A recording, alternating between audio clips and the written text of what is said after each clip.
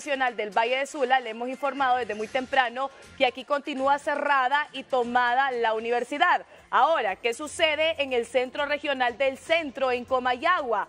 Tomada también la universidad, este centro universitario en el centro regional del centro en Comayagua, tomada la universidad. Si usted es estudiante, pues ni se acerque. Esto en el sector de Comayagua. No se despegue de HCH porque aquí le estaremos informando lo que vaya sucediendo minuto a minuto en este tema de la máxima casa de estudios, si hay clases, si no hay clases, facultades tomadas o no. Hasta este momento, el único eh, edificio en Tegucigalpa es el de Ciencias eh, Económicas que está tomado aquí en Tegucigalpa. Pero antes vamos a hacer una pausa comercial.